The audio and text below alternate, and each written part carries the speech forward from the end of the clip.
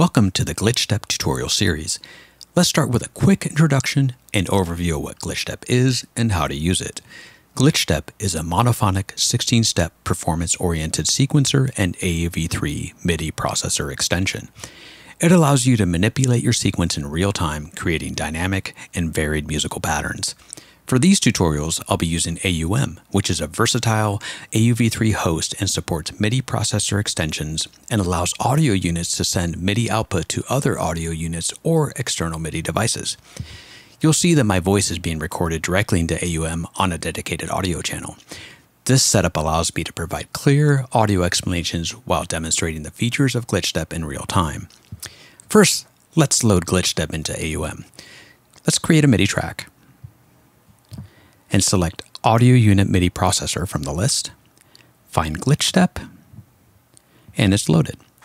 Next, I want to load an instrument to use with GlitchStep. I've got one in mind. It's Dagger from Beep Street, so I'm going to go ahead and search for it quickly and load it up. Now I just need to connect GlitchStep to Dagger. So I'll select the MIDI output from GlitchStep and connect it to the input from Dagger and we're good to go. GlitchStep has a user-friendly interface designed for performance. You'll see the main sequence controls and knobs associated with patterns at the top, the slice grid below it, and the glitch XY pad and various buttons for settings next to that. This layout makes it easy to access and manipulate your sequences. GlitchStep's interface is responsive and adapts to different orientations and window sizes.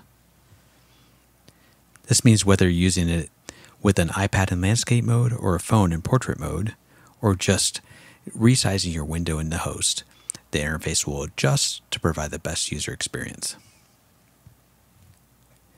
One of the great features of GlitchStep is the ability to load multiple instances. You can load different instances of GlitchStep to control different instruments that you have loaded. So let's load another instance of GlitchStep. Going to go ahead and size this one into portrait mode. Same with this one as well, and then I can put them side by side. And when we have them like this and we're controlling different instruments, we can go ahead and change the theme on GlitchStep to match an instrument we might have. So if I select Ember Flow for this one, gives me this orange and blue one and I could select a completely different theme for this one. Like say I had a purple and green synth that I wanted to control or drum machine.